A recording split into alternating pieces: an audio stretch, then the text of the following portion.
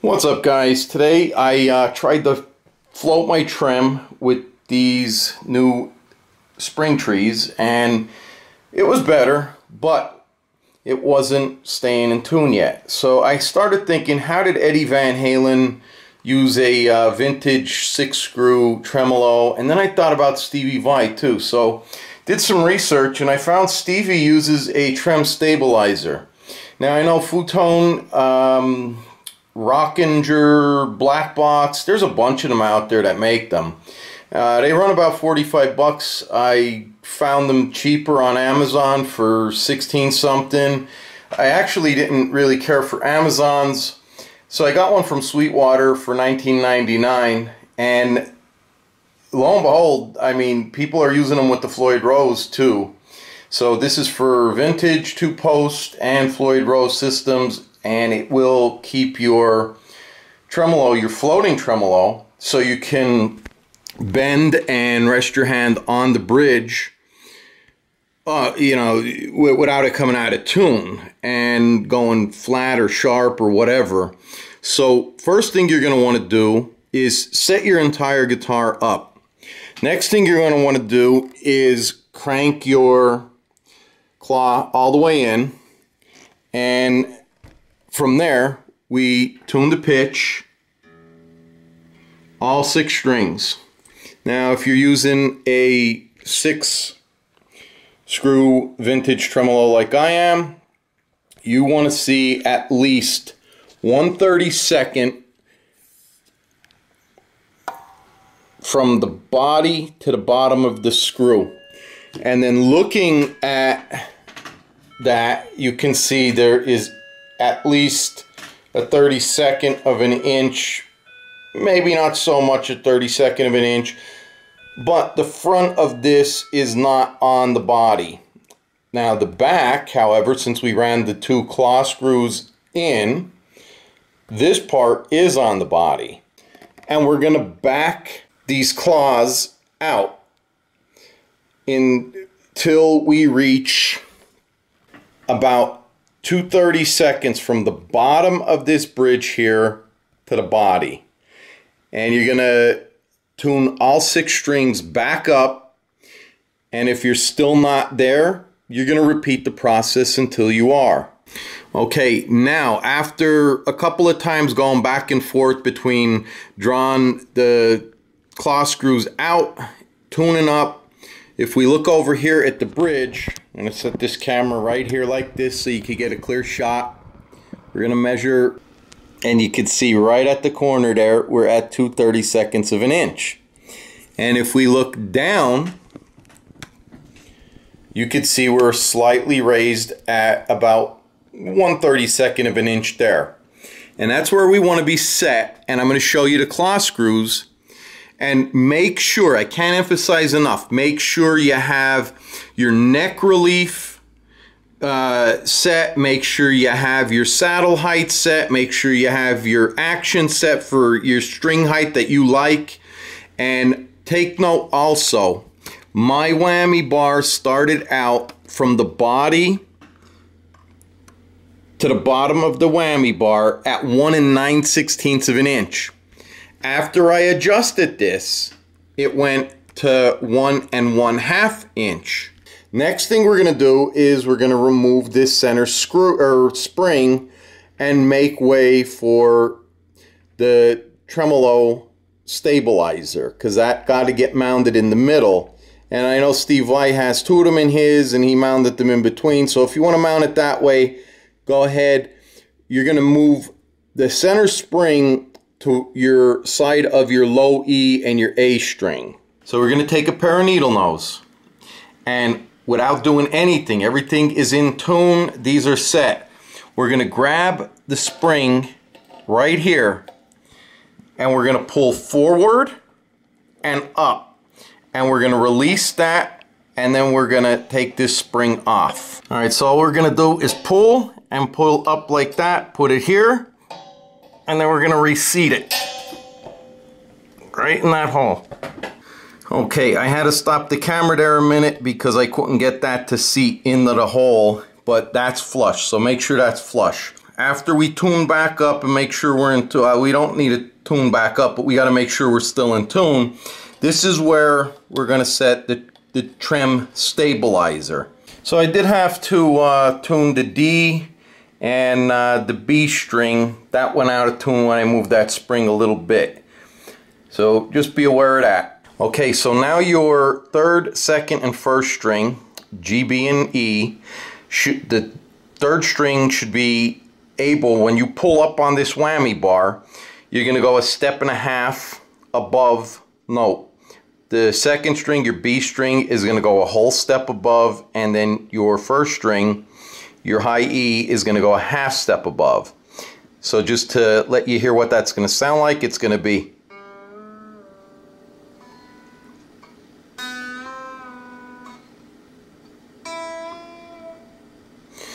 right now the way it sits without the trem stabilizer it's gonna go out of tone so let's move on to setting up the trem stabilizer. Alright so here's our uh, tremolo stabilizer it's an official Floyd Rose part. Comes with two rubber pads four little screws and then the unit itself. Now if this thing cost $45 I would have just milled one myself. Being it's 1999 you know I'm not going to go through all that work, but for 45 bucks for such a little thing and a simplistic thing like this, yeah, I would have machined it myself. So these are made out of brass, uh, what I'll call the piston, and then the thumb screws. They're just nuts, and then you got a spring, and then you got some all thread running through there, and then the housing, and they just rounded it over. You could leave it square. We'll take this apart and show you what it looks like. It has like a little ball bearing there Alright, so here it is apart. If anybody wants to know, you know, how long this thing is, we got a 2 inch piece of all thread and then the overall length to here is uh, 1 and 15 sixteenths. That's from the front here to the back here. And then from uh, this point in the front to the back of here is one and five eight and then the inner part is like one and three sixteenths.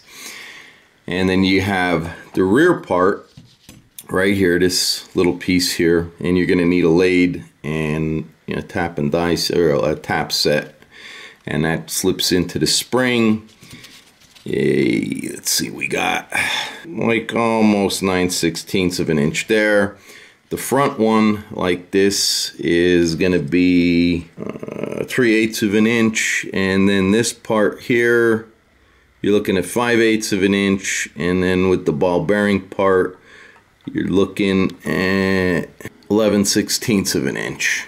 The spring, that's 7 eighths of an inch. So the diameter of both of uh, these parts here, the one that's shorter, one longer, it's 100 and 90 thousandths of an inch. And then the piston part, that's 100 and, or actually 270. You would drill that, you know, maybe like one to two thousandths over. And uh, let's find out the height of this. So we got 470 thousandths that way. Let me see the tread diameter of this. I'll tell you that too. So the tread diameter that is 150 thousandths. All right, so this uh, thread here is a 36 threads per inch, so that's gonna work out to like an 836 screw. Okay, a little tip. This uh, end here, here's the piston end and here's this end. This takes an Allen key. Now I don't know what size it is, but I had an extra one so I filed it down and I take it that when this is mounted this way you can put that end in if you have enough room and then when you're adjusting it the center all thread won't turn. Okay so what I did here was I put the Allen inside the all thread and then I finger tightened this piston is what I'm going to call it as tight as I could by finger. Now what I did was I ran this side in until it snugged up with this. There's about 5 sixteenths of an inch from the edge of here to here and then I ran this thumb wheel up against the piston itself. Now we're going to take this thumb wheel and run it back till you can't run it back no more and bottom the spring out. Okay, so you could see, now I used the Allen uh, wrench as leverage and then I just twisted this back till this collapsed. So there we have it in the guitar. Now there is those uh, rubber pads. Where you want to set this, okay, put the rubber pad on your tremolo block and you're gonna just let that ball bearing just touch that rubber block. What we're gonna do is use some rubbing alcohol and a Q-tip and we're just gonna go ahead and clean this surface here so we make sure those little pads will stick. Okay, so I determined that that ball is going to be in line with this hole right here. And uh, I'm just going to go ahead and I'm going to use a pair of tweezers and I'm going to stick that right there and we're going to make the top of this flush with the bar. Okay, so after you apply that there, you can see I'm centered. Just take your finger and press that in there to seat it. Okay, now that we selected our drill bit size, this is what I'm talking about. The diameter of this is the diameter without the threads on this screw. This happens to be a number 56 drill bit, which is uh, 46 thousandths of an inch. So if you don't have drill bits, go to Harbor Freight, you get yourself a set of number bits. Next, what we're going to do is take this screw, we're going to put it in there, and you have to compensate now take the drill bit, butt it up against the bottom here, and then we're going to put a piece of masking tape, just like I did with the string trees, on the drill bit, and we're going to take a measurement from the bottom of this plate to the tip of the screw, put masking tape on it. All right, so you could see better now what's going on here. You got the screw sticking out, and then if we butt the tip of the drill bit up, you can see the masking tape is touching that bottom of the screw.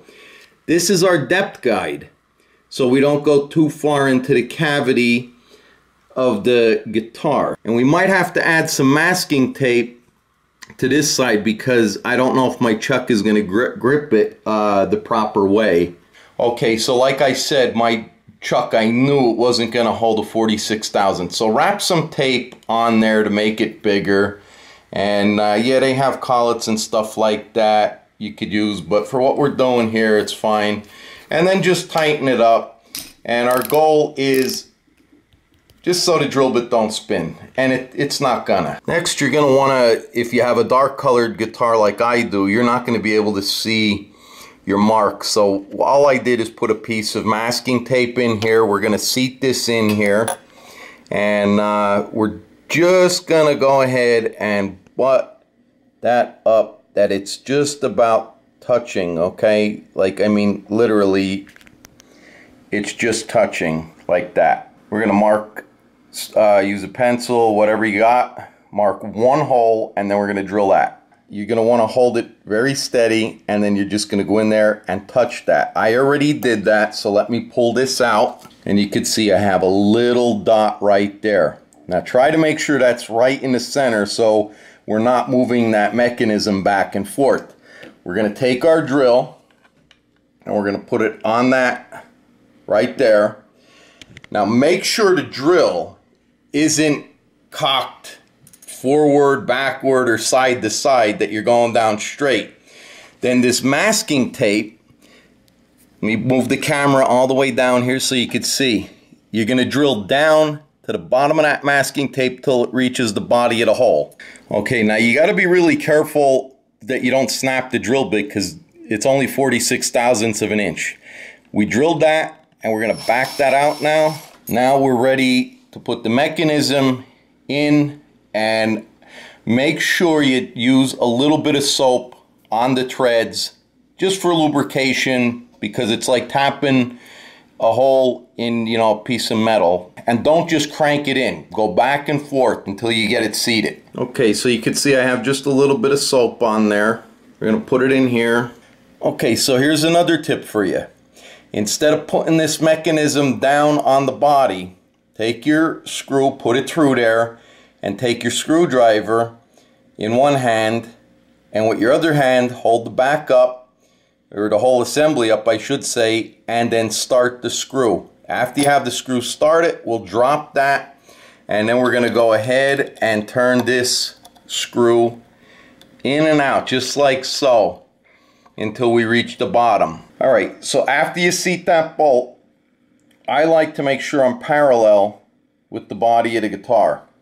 So from this ear back to here, all I did was just butt the roll up against the body of the guitar, measure out to this ear, and then come back and do the same for that. And I end up with 15, 30 seconds of an inch. Now what we're gonna do, we're gonna take our drill bit and we're gonna drill, line it up in the center of that hole and drill down till the masking tape touches the plate of the mechanism. All right, so once you got that started, now we have a reference point. We're gonna loosen that front screw up and just move the whole mechanism to our left and we're gonna finish drilling that hole. All right, so you see how I moved that and then we just go down and drill that.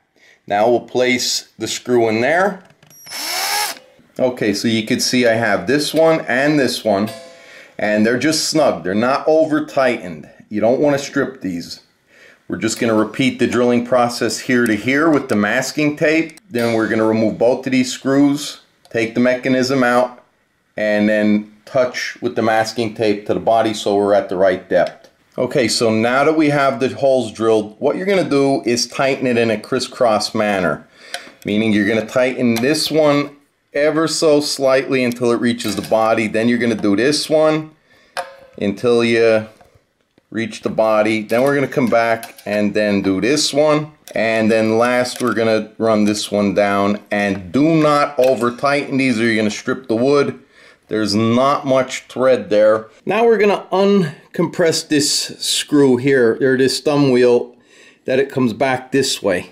Okay, so what I did was I released some tension here, put the tremolo arm in, and you, I'm going to pull back on the tremolo arm, and then I'm going to adjust this wheel back so this piston will sit tighter against here to make our adjustments.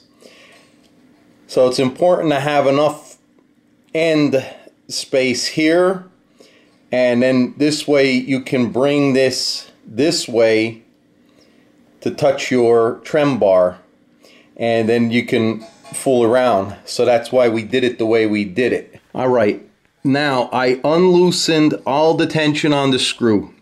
You could see the trem bar here and this uh, ball bearing. I don't know why they didn't just machine a, a piece of brass and just round it over. It would have been a lot better in my opinion because this little ball bearing, it kind of floats back and forth and it kind of fucks things up. And let me get the guitar in focus here and you can see there's no pressure on the trem right now but you have a lot of piston adjustments so you could come this way or go back this way. Okay now you can see what I'm talking about here. Let me tilt the camera this way and the guitar. That ball bearing watch it. You see how it moves in and out? So you want that compressed like that before you start doing your, you know, adjustments.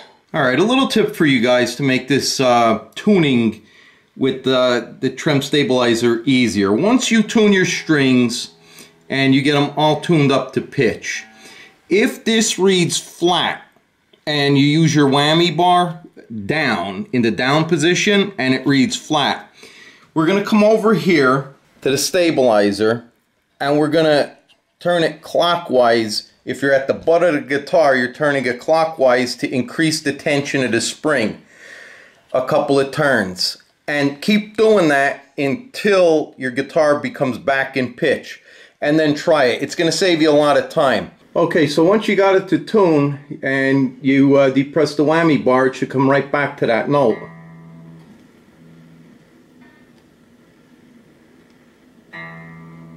And you see it does. Now I'm going to turn the guitar around. I'm going to show you what it looks like. What I had to do was I had to back this side out a little bit to bring this forward and then I just tightened this up a little. Then I pulled back on the whammy bar to release this like so. You'll see in a minute. Okay, see that? You pull that back and then all I did is make a slight adjustment backward to loosen it. That brought this assembly forward and put more force here. Then I tuned back to standard tuning or whatever tuning you're using and then I repeated that process until I got a happy